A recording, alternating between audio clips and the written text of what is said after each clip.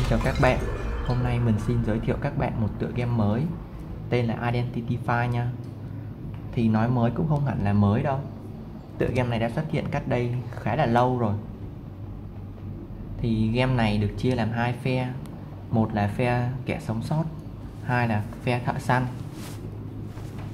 Thì bên phe kẻ sống sót, Mình sẽ phải giải mã 5 máy mã hóa. Thì cổng thoát mới mở. Mình mới thoát được ok.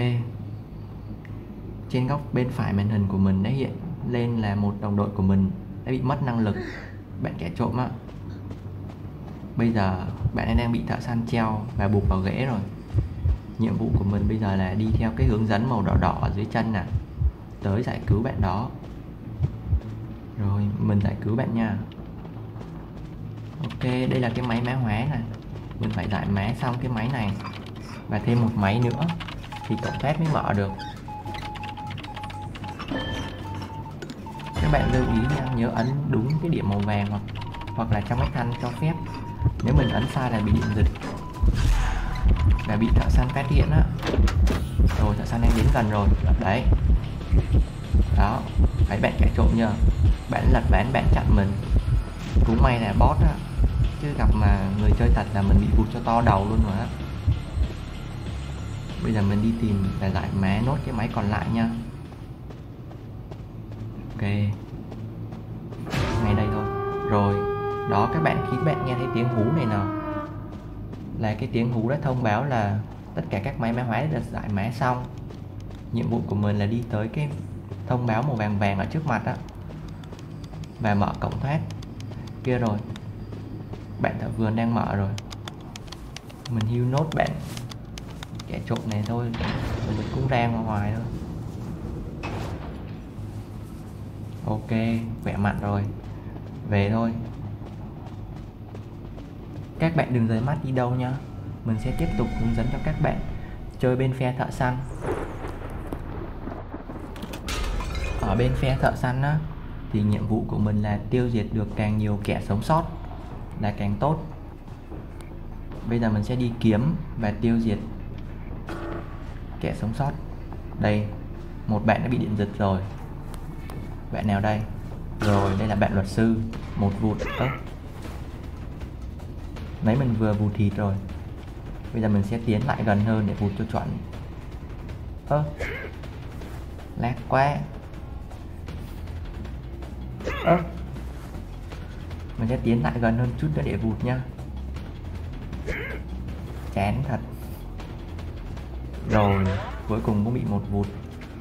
Mình phải vụt hai vụt, thì kẻ sống sót mới gục hẳn. Bây giờ mình dí theo, mình vụt nốt thêm một vụt nữa là xong. Rồi, xong. Khi kẻ sống sót đã vụt, thì các bạn treo kẻ sống sót lên bóng và chiếm cái ghế tên lửa nào gần nhất để mình buộc kẻ sống sót lại. Đây, mình sẽ buộc vào đây rồi, bây giờ mình chỉ việc đứng chờ đợi đồng đội của bạn ấy tới cứu thôi. Mà đây chắc bot chắc không có ai tới cứu đâu. Kia có bạn, có một bạn bị điện giật rồi. Mình sẽ kiểm tra kiểm tra xem là ai nha. Ô, rồi cô y tá. Mắt mình bị hoa hay sao ấy, vụt. Cứ tưởng bạn ấy ở gần, vụt. Ngơ người thật. Hư này không đi làm điều dưỡng đi, còn đi lung tung. Mình vụt nốt phát nữa để bạn ấy cục hẳn luôn nha. Rồi, xong. Rồi, mình lại treo bạn ấy lên bóng. Mình sẽ buộc bạn ấy vào cái ghế tên lửa trước mặt đây. Vậy là không có ai cứu bạn thuật sư thật luôn. Đông vậy mà không cứu bạn kìa. Mình sẽ xử lý bạn kẻ trộm trước vậy. Bạn kẻ trộm này chạy cũng khá là nhanh á. Cũng bị một hit thôi. Các bạn lưu ý nha, khi mình vụt kẻ sống sót á, thì mình sẽ mất 3 giây để sử dụng được đòn đánh tiếp theo. Trong 3 giây đó mình sẽ bị đứng lại, thì kẻ sống sót bị vụt họ cũng sẽ có tăng tốc chạy và mình rất dễ bị mất dấu nên mình sẽ nhìn theo cái dấu chân ở dưới đất. Cái đấy gọi là vệt máu á. Ok, mình vừa thả một đứa đệ ra. Cái đứa đệ này thì nó sẽ giúp mình đi tìm kẻ sống sót. Rồi bạn cái chỗ này vẫn không chạy.